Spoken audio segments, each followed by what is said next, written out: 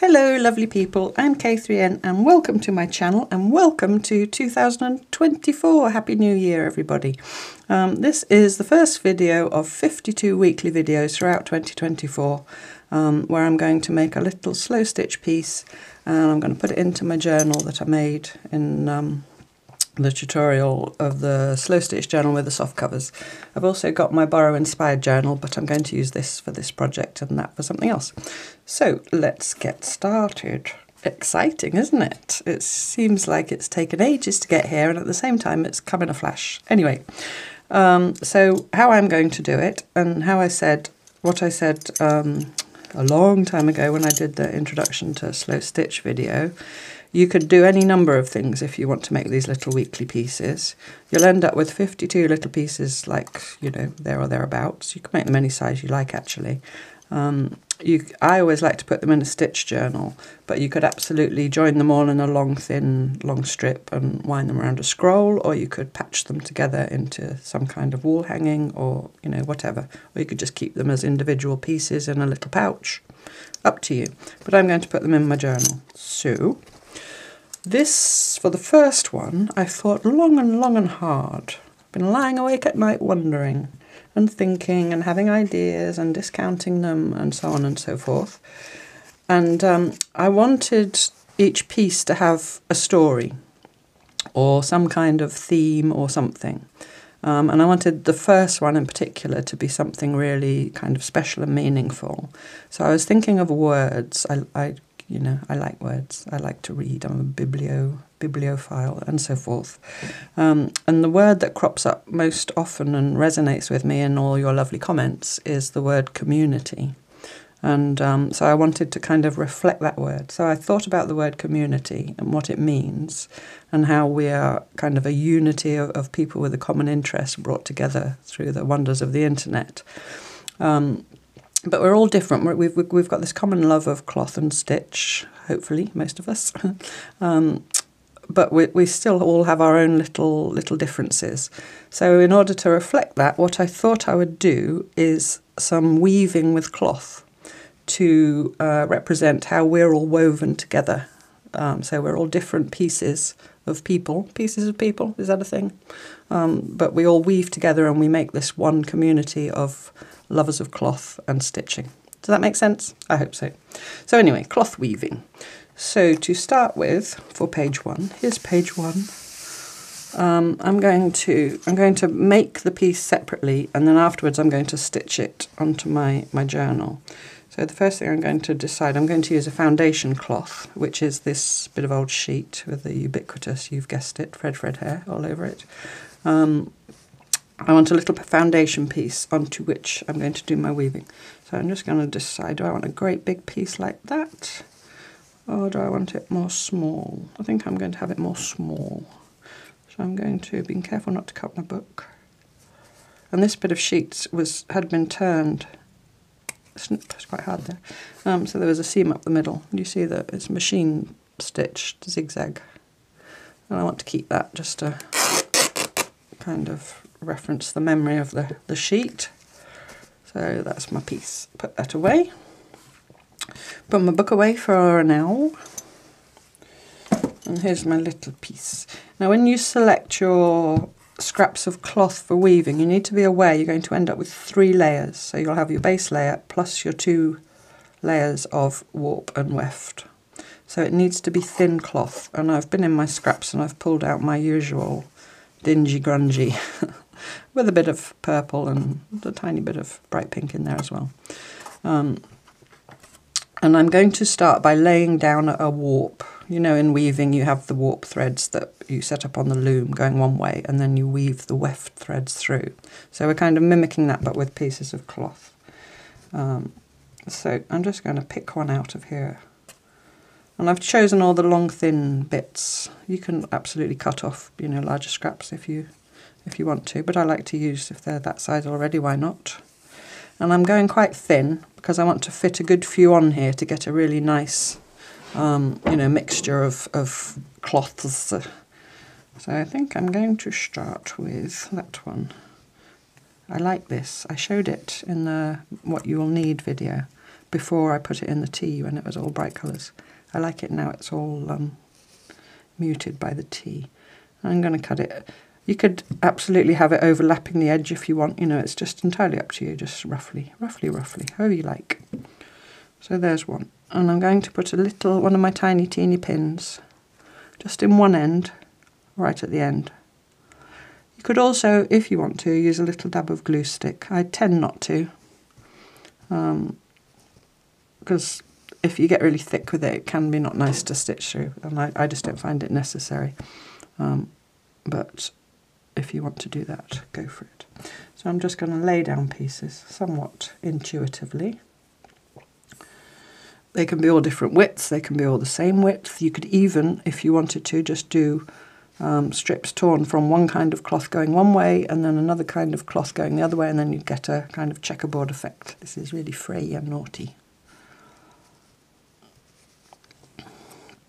And have some of that. I'm trimming them off kind of unevenly just because I like that raggedy look. But again, you do you. If you want them all neat and the same length, that will also be beautiful.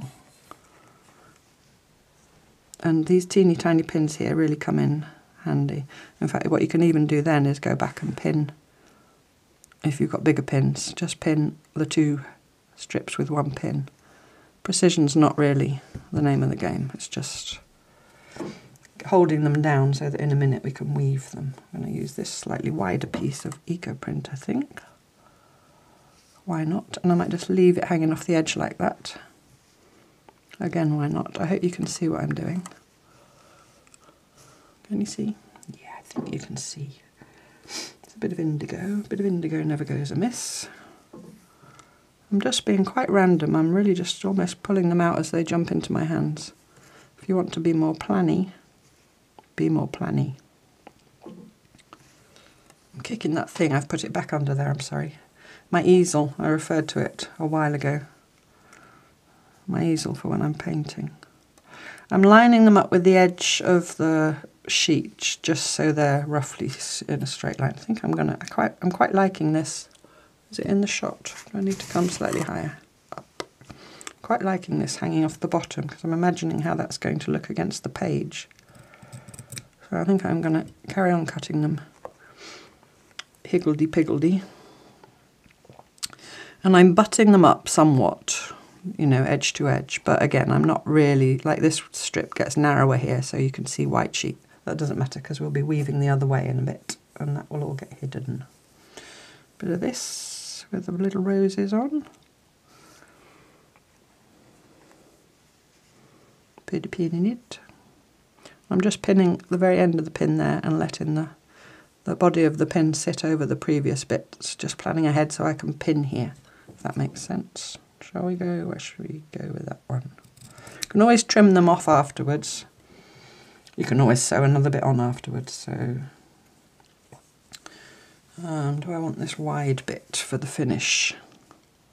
I think I do. I think I do. I think I quite like that. Let's go somewhere up there with that. Stop kicking that.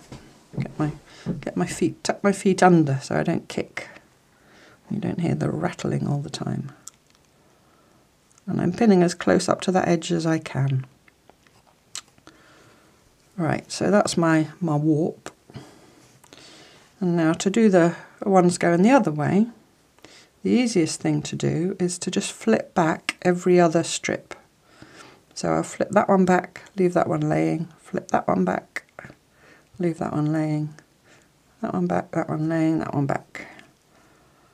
Like that. Do you see? Do you see? Do you see? Because I had an odd number, it makes it symmetrical. If that's important to you, you know, if you had an even number, then there'd be it wouldn't be symmetrical. Some that bothers some people. That's why I mention it. So if you want to be symmetrical, you need to have an odd number. And then I'm going to get another bit and then you're going to lay it and you want to push it up somewhat straight like that against the you know where you flipped it back obviously the pins are there so you can't really go any further you can scale this up and do much bigger strips and make really large cloths with it and I've done it on lap quilts and wall hangings and and so on, you know, with strips two or three inches wide. If you've got really thin cloth as well, it's a nice way to give it body because you put two layers together. There we go, so that's the first line and I've put all the strips back down. If you wanted that strip now to go right up to the edge, you could take your pins out, squidge it up a bit and put your pins back in, but I'm leaving it like that. So then you just take the alternate strips to the ones you flipped before, and you need to be a bit careful because it's a bit small and fiddly. And you flip those up. And then you choose another little strip of cloth about this bright orange. Mm, not really loving that. Not really loving that. You can of course use the same cloth going the other way. I guess for example if I put that one in there. I'll leave that hanging off the edge for now. We can always trim it later. And just, you know, to see what kind of look you get. You see there it's crossing itself. Just play. It's just playing. It's just playing. And you can view this if you haven't done this before in your slow stitch journal as a thing in itself. Absolutely nothing wrong with that. Um, or you can also view it, and I do that sometimes if I'm playing with new new things that I haven't tried before, um, as a, an, a way to experiment. So again, alternate strips back up. You know, a way to experiment with different techniques on a very small scale, and then you may think, oh, I like doing that. I like the look of that. I want to do that on a large scale, and then your little stitch journal or scroll or whatever becomes a, a sort of reference or a reference guide to yourself. See, that's gone diagonal, that's been cut diagonally at the end, but I don't mind. It's mostly going to be under that strip. And if there's a little line there going that way, doesn't bother me. Doesn't bother me at all. Doesn't bother me. So I hope everybody had a lovely Christmas if you celebrated Christmas or a holiday season in some way. Um, when you see this, it will actually be the 1st of January, but I am filming it because the first Monday in this January is the 1st. I'm actually, it's the 31st, so I'm here last year doing this so that you've got it on the 1st. Because I know those, our friends down under, um, are ahead of us so probably even now I'm sitting here, they're already in um, next year. a bit of my daddy's shirt, we'll have some of that.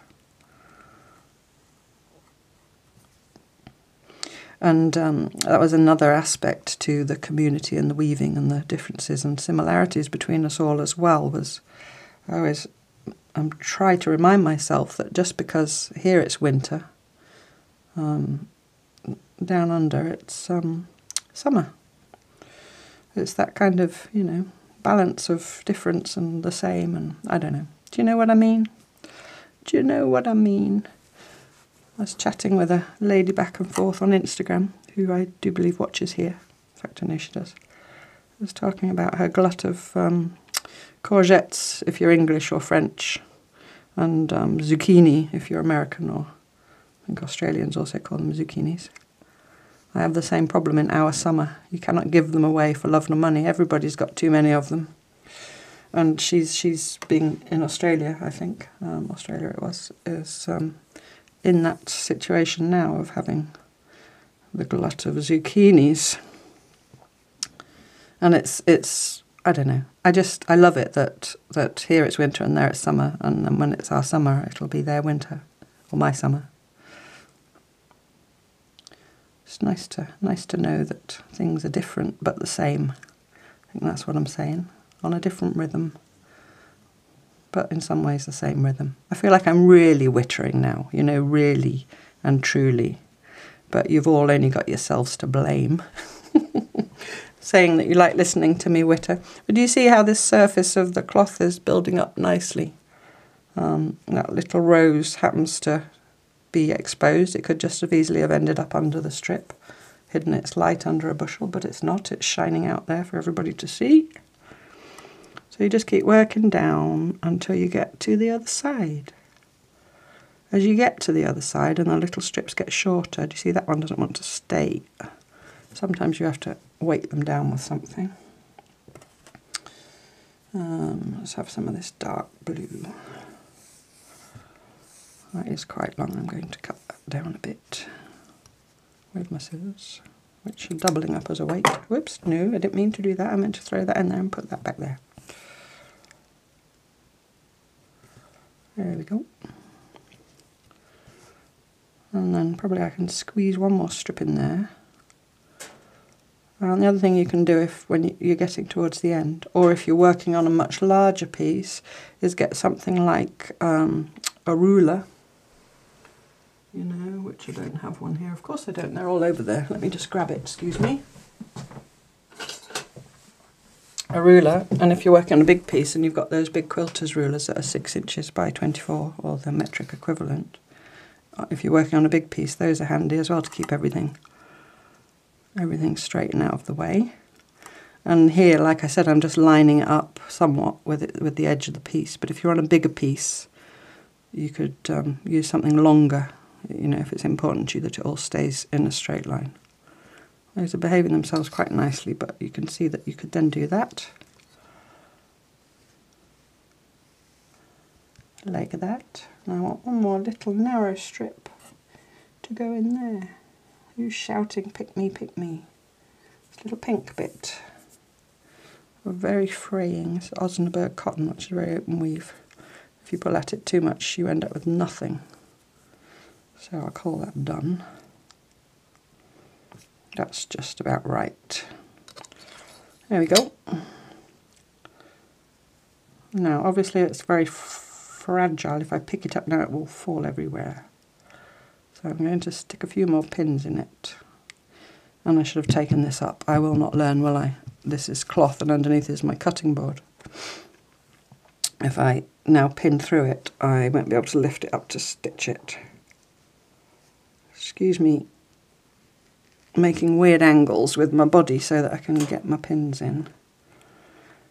And on a small piece like this you can maybe get away with just pinning Actually, I'm going to pin through that last strip. And um, and I'm going through all three layers. That last crossways strip. On a small piece, sorry, I started saying something and then started saying something else. you could um, just get away with pinning the top and the bottom. Um, on a bigger piece, if I was going to pick it up then and put it on my lap to stitch, I probably would pin the ends of these strips as well. So I'd put pins all around. And as you stitch, you will find that you might have to tension them a little bit, you know, if you're doing a, a big piece. Um, I'm now going to carefully turn that and pin that going that way. But I'm hopeful that this little piece will behave itself. There we go. I'm going to hold it up to show you I might actually cut that a bit too much of that, and a bit too much of that. So that's it now. You see that? So what I will do now is I'm going to put a line of the invisible base stitch, which I use a lot, and I should every time I use it credit Jude Hill. I don't think she invented it, but she certainly has, as far as I can make out, I haven't seen it used widely anywhere else by anyone who's not a student of hers. Um, she certainly has popularised it for doing this kind of thing. Um, so Jude Hill, do look her up if you don't know her. Let's find the needle, the favoured needle. That one? That one. Oh no, it's not, it's that one.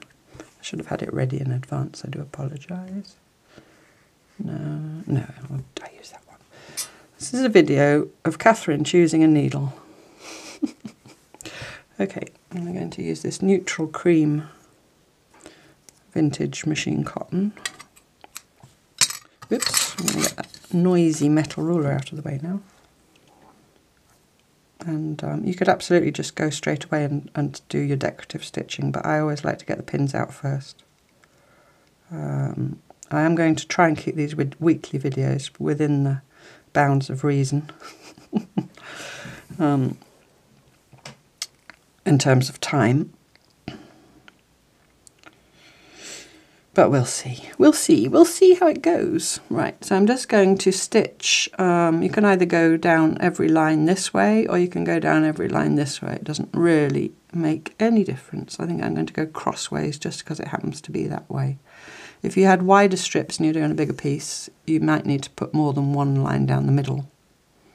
You might want to do one line down the middle and, um, you know, line of stitching and one line down each edge or whatever. I would say maybe they need the lines need to be no more than sort of an inch and a half apart. So the invisible baste, if you haven't seen it yet, you take a teeny tiny back stitch on the front surface of about two or three threads of the cloth, and then a big stitch on the back of an inch or so. And this stitch stays in. You don't get it out afterwards. And just go along and make sure that you catch every strip in place with at least one stitch and that will be enough to hold it. And you can get the pins out and then you can, whoop, do, do, don't do that. Don't do that, don't get it trapped all around and ruckle it all up. Then you can get the pins out and pick it up in your hand and do your decorative stitching without being bitten by the pins. And when I get to the end of this, I can get that first line of pins out already.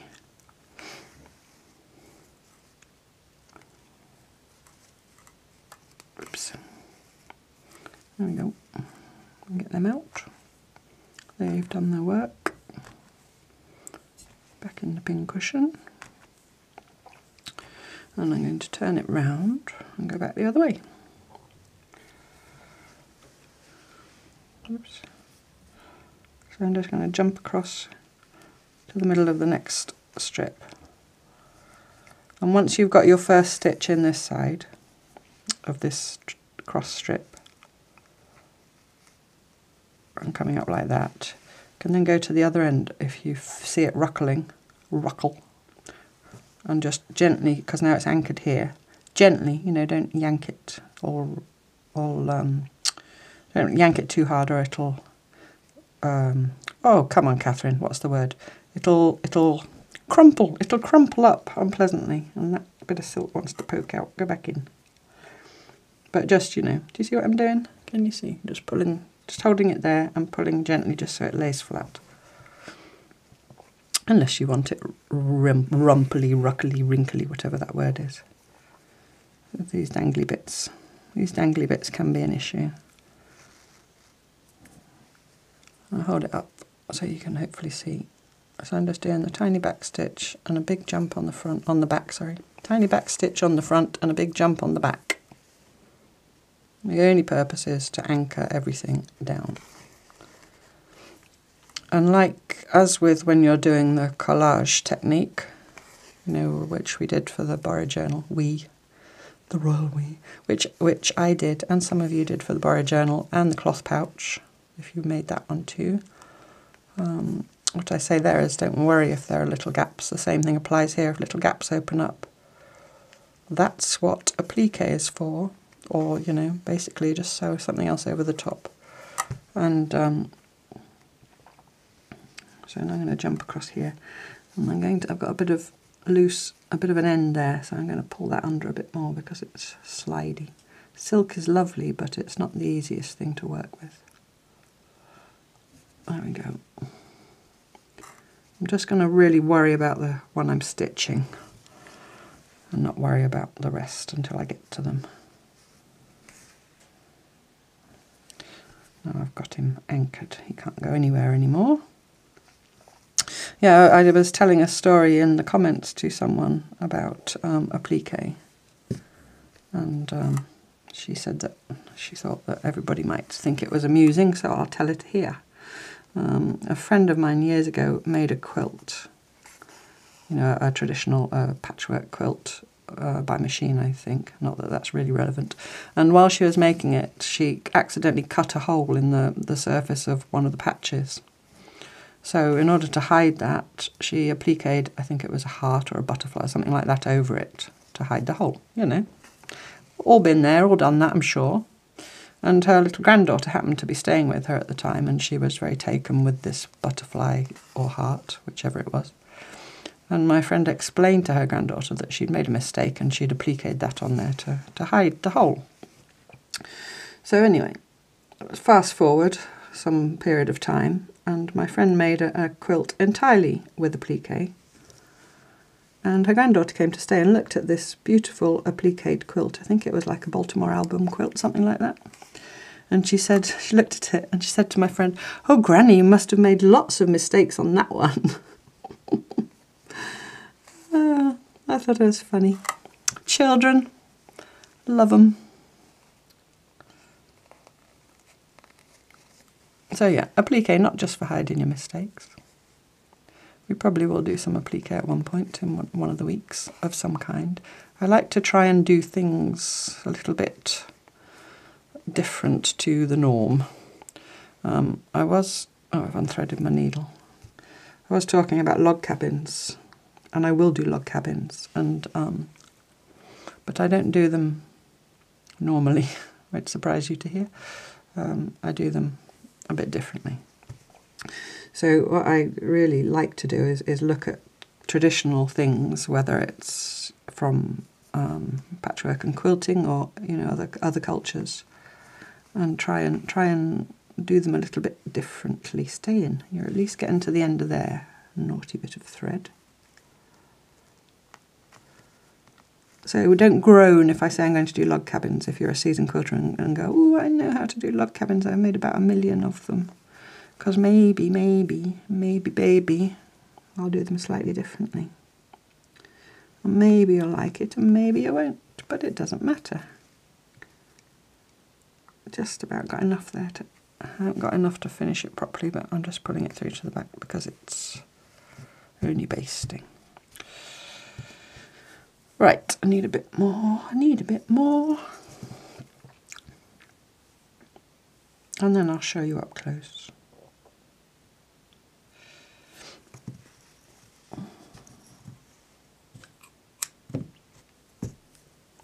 Gone silent. Um, a little Fred, Fred and Stella story for you all. if you don't know who they are, Fred, Fred's my cat and Stella is my small naughty dog. I have a big well-behaved dog and a small naughty dog. Sorry, I'm kicking that again. Um, Stella's a small naughty dog, although she's very peacefully and well-behavedly sleeping behind me at the moment. Um, Stella and um, my big dog Sirius, he's called Sirius the dog star, sleep downstairs in the kitchen under, under the stairs. The stairs are in the kitchen. And there's a little nook under the stairs. And they each have a big cushion to sleep on, you know, those big dog cushions. And Sirius has a fleecy, what do you call it? A lamb, a lamb skin, a sheepskin, sheepskin um, rug on his. Stella did have one, but she chewed it up. So now she has various old cardigans or towels or whatever. But anyway, my old boy who's 12, which is no great age, but because he's a pure breed and he's a big, a big boy, has got arthritis. I mean, for his breed, he's a great age at 12. Um, so at night he likes to stretch out and he encroaches onto Stella's little corner cushion. And then in the middle of the night, she starts um, she doesn't dare really have a go at him because he's so much bigger than she is. But she kind of makes up to him, you know. She kind of licks around his chops and, and whines and rolls on her back and does all that. And that irritates him no end because it's the middle of the night and he just wants to stretch out his poor old tired aching bones and sleep. So then he starts doing this bark, which is like, and then a pause and then on and on like that. Anyway, so I thought to myself, I'm sure my mum has got, my mum had a dog until a few years ago and he passed away. I'm sure my mum has got one of those um, plastic dog beds, you know those plastic dog beds with the sides and the little short place for them to get in and out. And her dog was only little, and I think I thought if she's still got it, that would be just the right size for Stella. So I was over there yesterday and I asked my mum, and she said, Yeah, of course, there it is, take it. So I brought it home for Stella, thinking now she can sleep in her bed at the side of the understairs nook, And Sirius can have the whole of the understairs nook all to himself and stretch out, and there won't be any yapping in the night. So this morning I wake up in my bed and I hear to the sound of Sirius doing his barking. so I go downstairs, and what do I find? Some of you, I think, are probably guessing. Um, Sirius is stretched out under his nook. Stella is trying to squeeze herself into a corner of what is now his bed.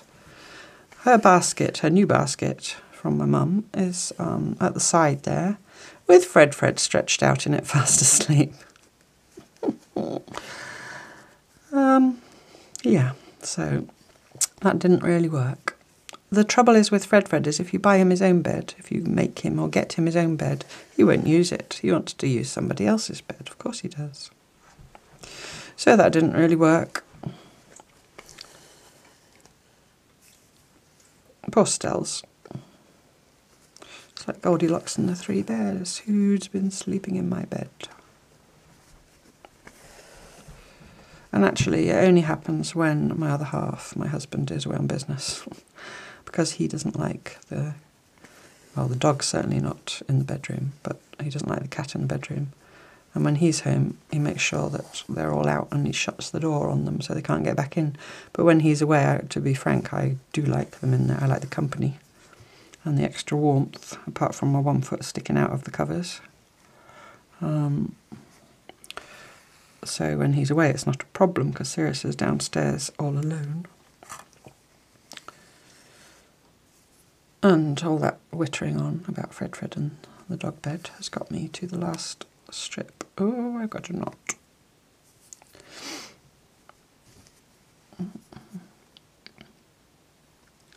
And I can get my last pins out. Oh, it's raining again. We had about two or three days of, well, a day of actually seeing some blue sky and then we had a couple of days of grey, but at least not raining. And then in the night there was this fantastic wind whipping up, although not as windy as um, one lady I chat with back and forth here in the comments who lives up on in the Orkney Islands of Scotland, where they have quite serious wind. that sounded wrong. Sorry. oh no, that's my mind. Um, yeah, you know, the, the, the meteorological phenomenon that blows. No, I'm not even going to continue that train of thought about wind. I'm not even sure in America they call that. Anyway, stop talking about wind. oh dear. Get on with the stitching. Okay, and then when I finish my basting, I'm going to bring it up close to you and show you how it looks and how it feels. If I can show you how it feels, that's not an easy thing to do. But I'll try.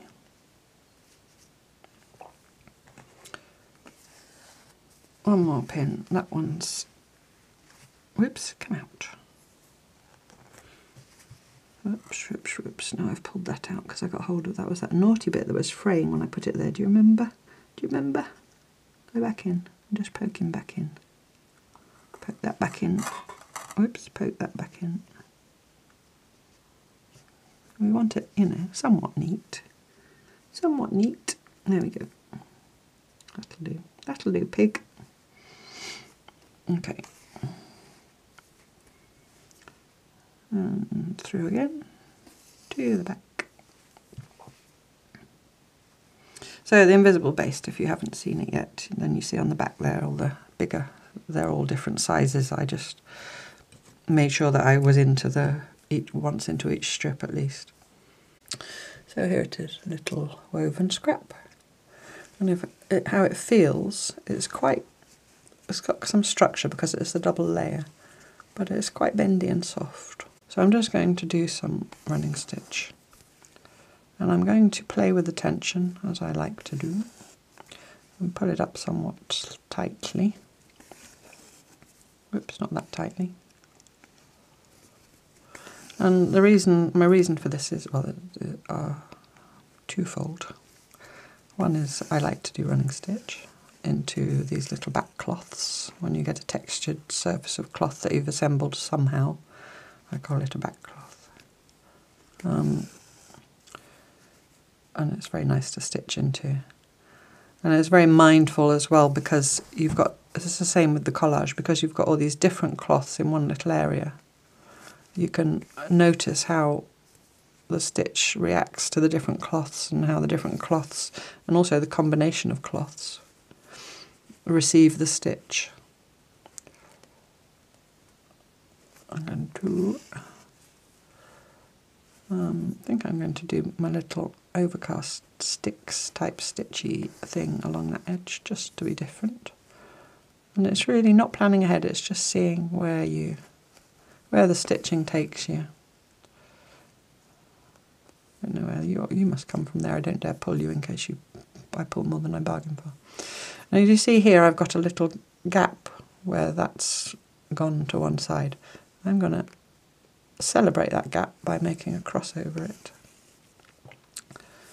Instead of saying, oh, there's a gap, oh no, I made a mistake, I must hide it, I'm going to kind of emphasise it with a cross. Mar X marks the spot. I'm going to cut that bit of purple off because it's annoying.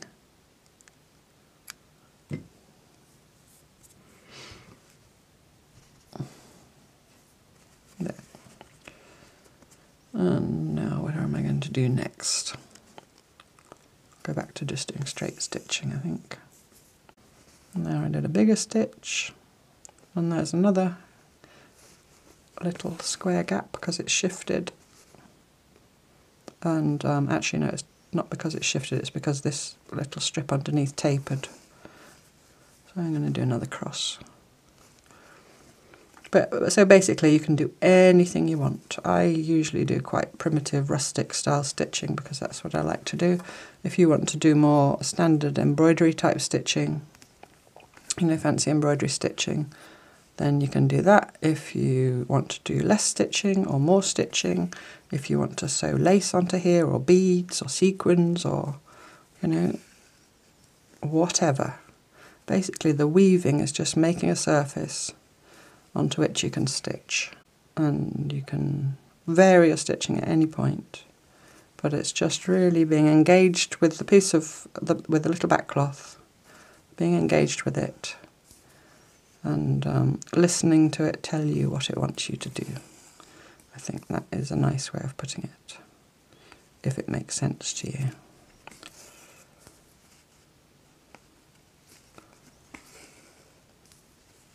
and these won't all be this. Um, well, you could have stopped there after the baste, or you could have just done without not done the basting and just done one line of stitching through, and called it done. You could have made a bigger piece. You could have made a smaller piece. You know, you could just make three going one way. You could have just done a tiny piece like that. Absolutely up to you. There's no right or wrong. Um, or you can spend many hours now with it stitching if that's what you want to do and I would vary from from day to day some days I might if I'm doing a sometimes I've done a daily stitch journal and I've usually done those for a period of time such as a hundred days. I have done a year. Um, I did I made a stitch journal between when we sold our house in England and when we bought this house here in France. Um, and when that, when I began that, that process I had no idea how long it was going to take because we hadn't even found this house um, when we left England. Um, and those daily journals, some some days I had time, you know, some days were a home day and husband was working and the children were at school at that point and so and I didn't have, you know, much else to be doing because we were in a rented um, a little rented cottage uh, so I could spend a lot of time, and then other times of like now in spring if I'm gardening or whatever, you know. And it's in, in my spring is it's busy time of year. Um, see, I've gone stick stitching again there because I liked that little edge. Um, I might not have as much time, and if I was in the middle then of a, a journal, a daily a daily journal, I might just do something that literally takes five minutes, but at least I've stitched do you, do you know what I mean? So you kind of, it's like that expression, you cut your cloth accordingly. But I like to do them, this I'm doing weekly, because I think daily with you all would be too much. So I thought this is the first time I've done this on, you know, in, in a community, to go back to the theme of our little weekly piece. Um, I thought weekly was uh, a better option to start with. I might use this pink because it's tones with the pink. Um, this is embroidery floss, but it was this the hank was falling to bits, so I took it off. You know, collapsing. So I took it off and wound it on a spool. I will just repeat this again. You've got six strands. I like to use two. That's just me. If you want to use one because you like the thinner look, or more strands because you like the thicker look, but I wouldn't try and pull two strands off at once. I I have tried, and invariably it tangles. So I'm just holding this the rest of it kind of between my thumb and forefinger and pulling off one strand. And if you find, if it starts, you feel resistant, stop pulling, go to the other end and just kind of, it's not going to behave itself now, kind of slide it along like that. There we go. To pull out some of that extra and then go back and pull again. If you feel resistance, stop. Don't fight it. It will win and you'll end up with a tangle and you'll have to cut it. So there I've got one strand off. Um, and now I'm going to pull off a second strand, which usually comes off more easily because pulling off the first strand has loosened everything up. This doesn't help either that it's been in tea and that tends to stick the, the strands together and then put them back together. And find your needle which you've stuck in your little biscornu pincushion. I'm so pleased with how many of you have um, been making the things I've been sharing, and I've been seeing them on Instagram and Facebook, and some of you have sent me messages with pictures of them. If I miss your messages or if I miss your comments, please don't think I'm ignoring you.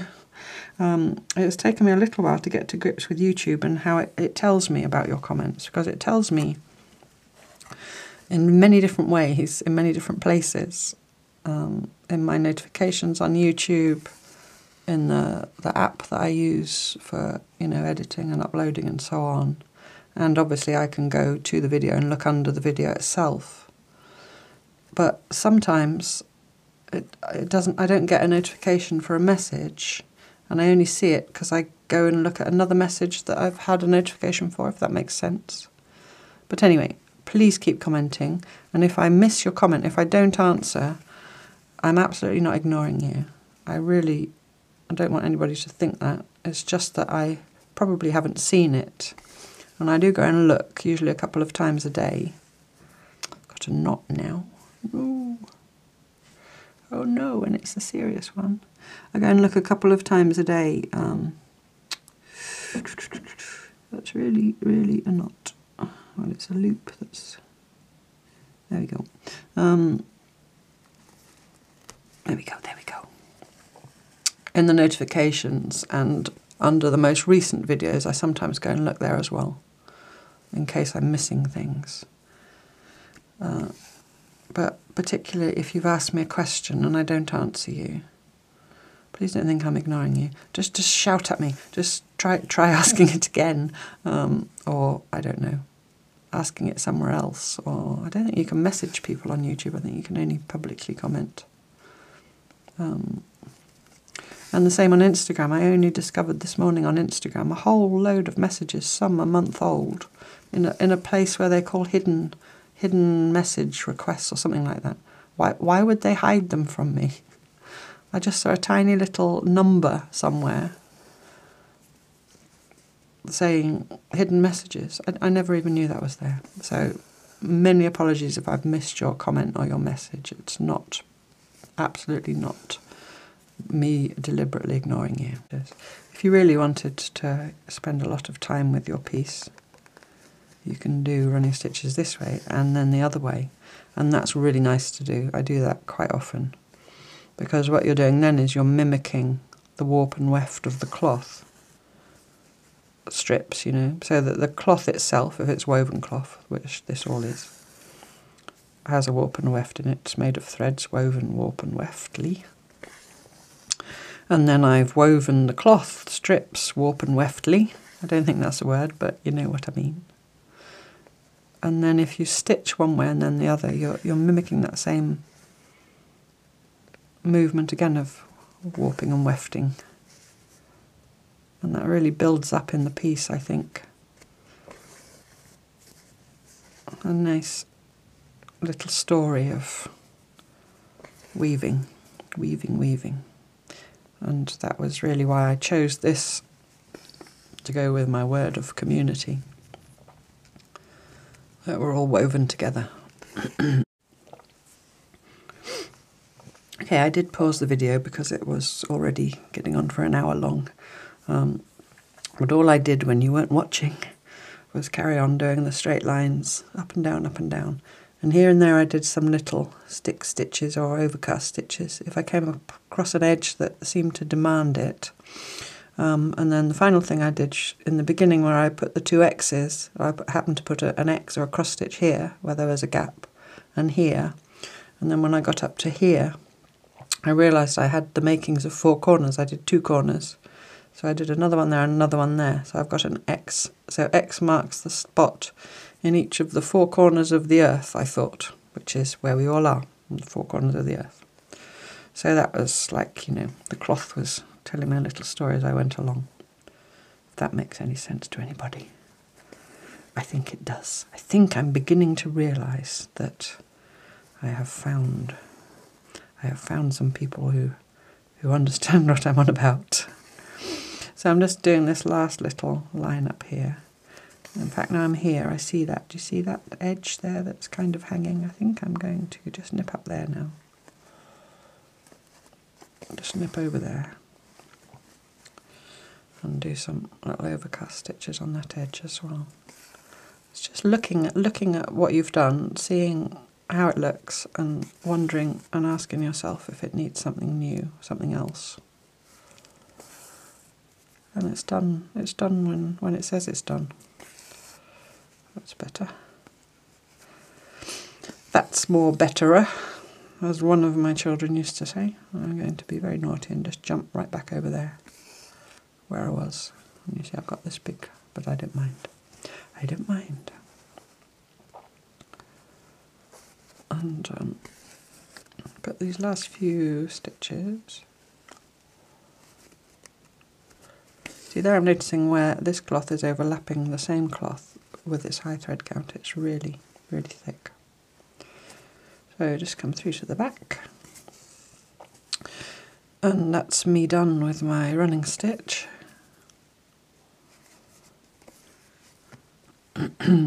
okay, so there's my little piece. Hold it up close, get my fingers out of the way. Um, and I think that's its way up because I like these fringy bits. If you want, if you know, if you want to make it all square, then you go for that. Uh, and now I'm going to, I'm not going to put it in the book yet. Oh dear, I'm a big clunky, big clunky thing on the end there. I'm just going to have a look at it, how it will look. Now you see those maybe should be trimmed off. That's, the length is fine. I don't know.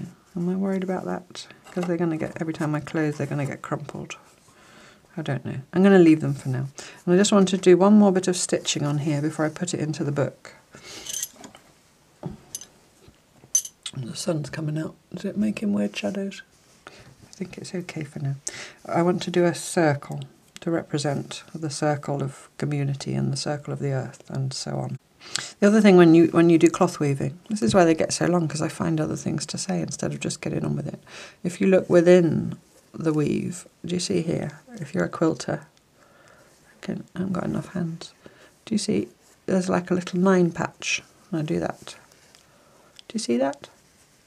So you can emphasise that by stitching round. Do you see? A nine patch is three by three. So if you were making a bigger piece, a lap quilt or something using cloth weaving, you could then do some stitching round and round the edge there or, or sew something, some braid or something on and you you have little nine patches. It's just it's just fun to play with. Anyway, back to the circle. trying to choose what size I want. Do I want it that big? Maybe I do want it that big. I don't know if it's slightly too big. Maybe that one's just slightly smaller. So I'm just going to centre it somewhat by eye. And get my teeny tiny pins.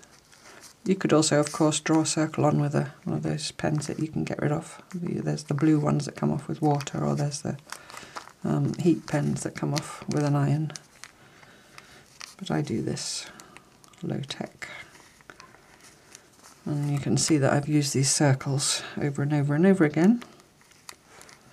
And at one point they, they tear and you have to make a new one. But all I did, I'm sure you can work it out for yourselves, is draw around something circular on a bit of paper. This was a bit of tracing paper. Just some kind of thinnish paper. These were backs of envelopes. And then you pin it on. And this was why I was thinking that I'd use this slightly darker colour so that it would show up. Okay, so I've got my two strands of floss and all I'm simply going to do is stitch once around the edge of this circle and then I'm going to take the template off and decide maybe if I want to stitch again. So I'm doing quite small stitches because I'm going around the curve and I'm getting my little flappy bits trapped together.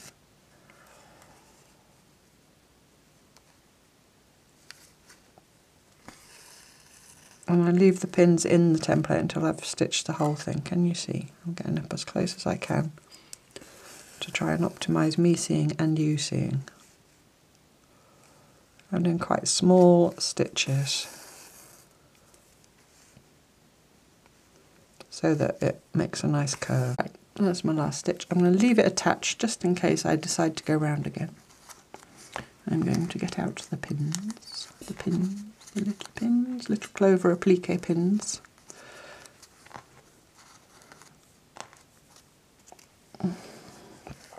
And then I'm going to take a view if I think that is. I think I might go around again just so you can really see it because it's so the background's quite busy for all that it's blendy blendy. My my colour palette is quite muted. So all I'm going to do is come back up um, inside I think. Could go inside or outside, just you know. If you go inside, you make the circle slightly smaller. If you go outside, you make it slightly bigger. And I'm just going to follow that stitching line. The same thing applies to straight lines. I've had a few questions about keeping lines straight when you're doing all this parallel stitching. I just kind of line up to the edge of, with cloth weaving it's easier because you've got all these straight lines everywhere to follow. But if it was a collage piece, you would, I would line it up to the edges of patches, you know, as I came to them just by eye. Um, that's the first thing to say. The second thing to say is it probably is one of those things that does improve with practice the more you do it. Okay, so I'm round. Uh, when I come to the end, because I want to be somewhat even in my spacing, I just kind of think, well, if I do a stitch there and a space, and then I can fit another stitch, and then there's still room for a space. So there I just can vary slightly the the width of my stitch and my gap so that it looks somewhat.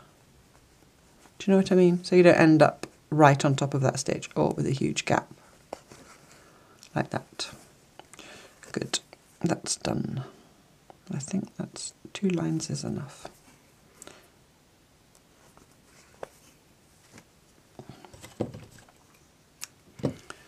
So here he is, and he feels he I don't know why he's a boy. It, it. it's an animate object. It feels lovely and soft, and it's got real, real structure to it. But at the same time, you know, you can crumple it up, and if you make one yourself, make sure to give it a good feel before you stick it down into your book, or however you're going to put it into your book. Which brings me to putting it into my book. Um, so I think you you could stick it. You could just put some glue and stick it, you know, or some double-sided tape would also work.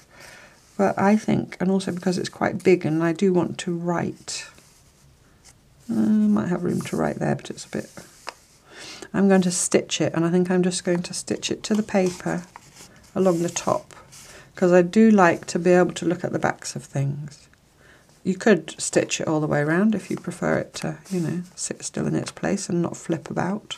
You could stitch it here and have it opening like that. You could stitch it there and have it opening like that. Oh, you know, there are options. But I'm going to stitch it. I'm going to use this, which is what I used to baste. Fine cotton and a fine needle. Um, paper, I have tried this paper before I made the book. I think I did say that. I hope I did when I was making the book. But it, most paper will tolerate being stitched through. Um,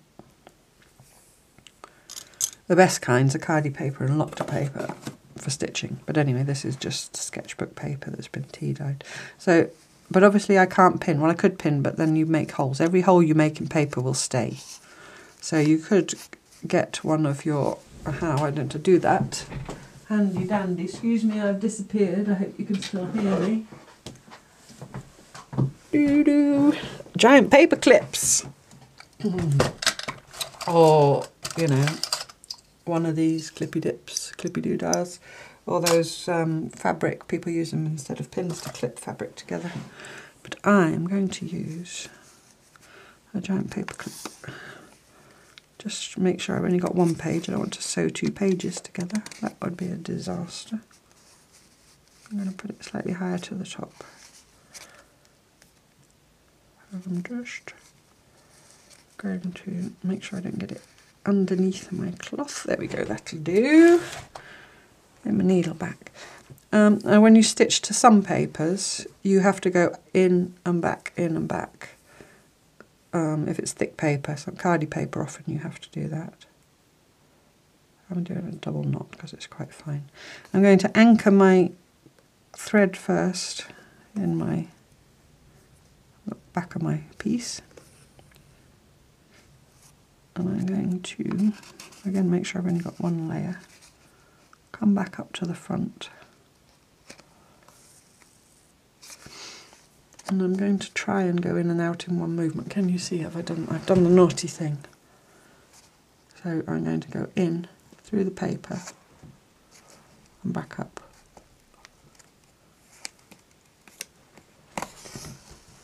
And just pull it carefully if you have a look on the back, can you see? It's just a tiny little stitch. And I'm not putting anything on this side. I've allowed enough pages that I can do 52 pieces on the facing page. So this side will either be blank or it may, might get written on or something at one point. And I actually do quite like the stitching showing through on the other side. I can't see if it's straight because I'm not directly above it. You are, and you can't tell me. There we go. Okay? Can you see what I'm doing? It's straight, I think. So basically I'm just I'm going sort of straight through and then turning the needle and coming straight back.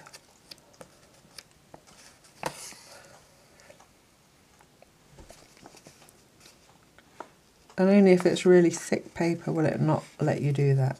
If it's really thick paper and you have to do stab stitching, then you go through to the back and pull it through and then if it bothers you that your stitches on the back are in a straight line, you look at the back to make sure you're coming through. Do you see what I mean? You know, go, go, go and look at the back as you come back through. But I'm happier doing this as long as I can get away with it. And the paper's quite sturdy. I find that tea dyeing, coffee dyeing, whatever, sturdies paper up a bit as well. I will, I keep promising, I know, I will do a video about tea dyeing and coffee dyeing and so on. Once the madness of Christmas and New Year's is over and I'm here all alone and I can take over the whole house because I would do that downstairs. When everybody's gone back to work and university. So my stitches are not very neat, but to my mind they're just there to do a job and it's a little bit awkward as you get close to the spine of the book, but it's doable.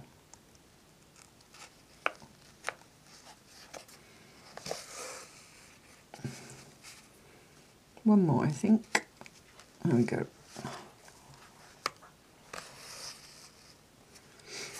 Right. I've brought it towards me again. I'm just going to go into the bit of sheet at the side there and anchor it.